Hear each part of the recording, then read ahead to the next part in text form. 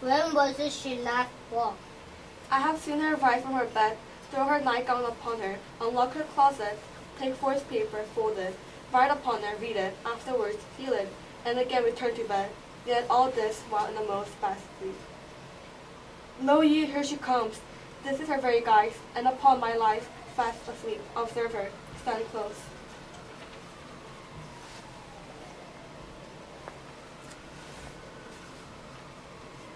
You see, her eyes are open. Aye, but her sense is shut. Look how she rubs her hand. I have known her continue in this a quarter of an hour. Yet there's a spy. Hark, she spits. I will set down what comes one point from her to satisfy my, my remembrance the more strongly. Out, damn spy, out, I say. One, two, why then, 'tis time to do. Tell us, Murky. Find, my lord, fie. A soldier and a feared. What we need, what need we fear? Who knows it? When none can call our power to account. Yet who would have the thought the old man to have has so much blood in him? Do you mark that? The Dana Fife had a wife. Where is she now? What will these hands near be clean? No more, oh, that my lord. No more, oh, that you mar all with this darting. Go to, go to. You have no what you should not. She has spoke what she should not have. Has that heaven knows what she knows. Here's the smell of blood so. All the perfumes of Arabia will not sweeten this little hand. Oh, oh, oh. This disease is beyond my practice. Wash your hands. Put on your nightgown. Look not so pale. I tell you yet again. Banquo's buried. He cannot come up on's grave. Even so, To bad, too bad. There's knocking at the gate. Come, come, come, come. Give me your hand. What's done cannot be undone. Too bad, too bad, too bad. will she go now to bed? Directly. Foul whisperings are abroad. Unnatural deeds do breed unnatural troubles. Infected minds to their death pillows will discharge their secrets. More needs she the divine than the physician. God, God forgive us all. Look after her. So good night. I think, but dare not speak. Good night, good doctor.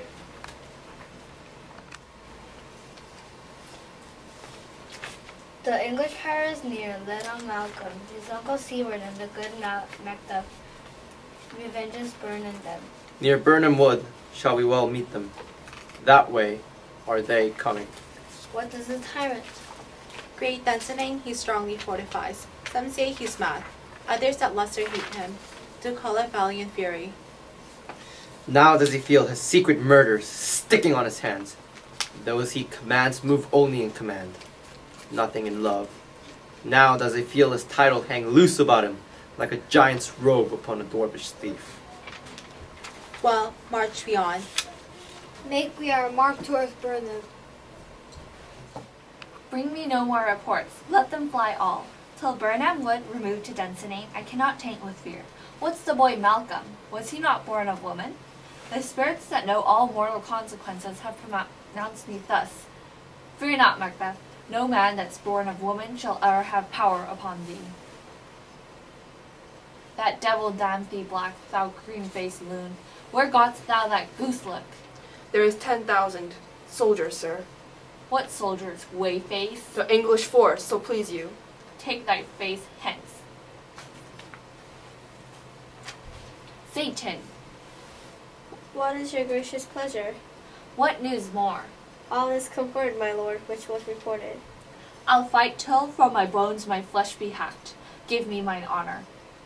Hang those that talk of fear. Give me mine armor. How does your patient, doctor?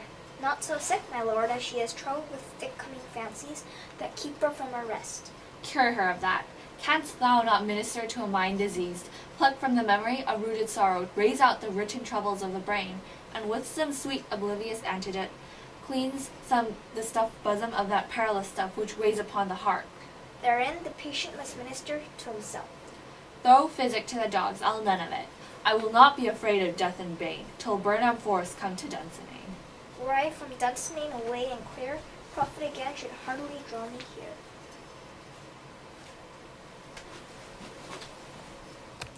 What wood is this before us? The wood of Birnam. Let every soldier hew him down a bough, and bear before him, thereby shall we shadow the numbers of our hosts and make discovery, err and report of us. It shall be done. The confident tyrant keeps still in Dunsinane.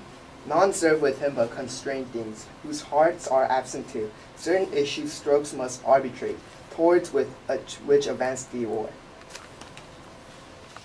no. What is that noise? It's the cry of woman, my good lord. I have almost forgot the taste of fears. Wherefore was that cry? I, the queen, my lord, is dead. She should have died hereafter. There would have been a time for such a word. Tomorrow, and tomorrow, and tomorrow.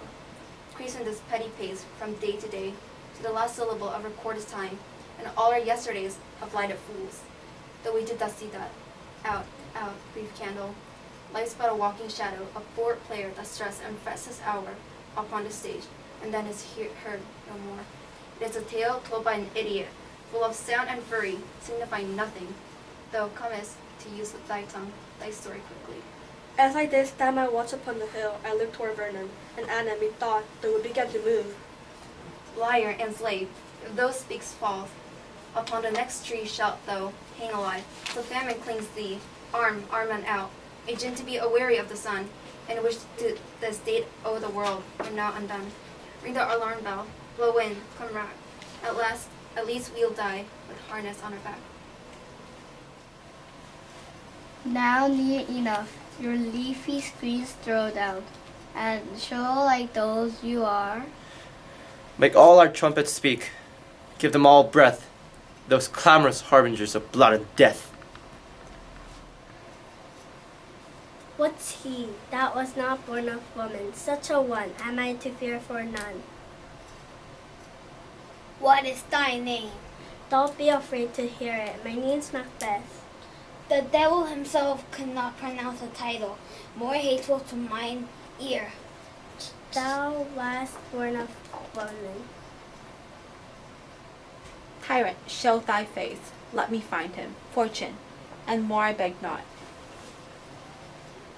This way, my lord, the castle is gently rendered. Enter, sir, the castle.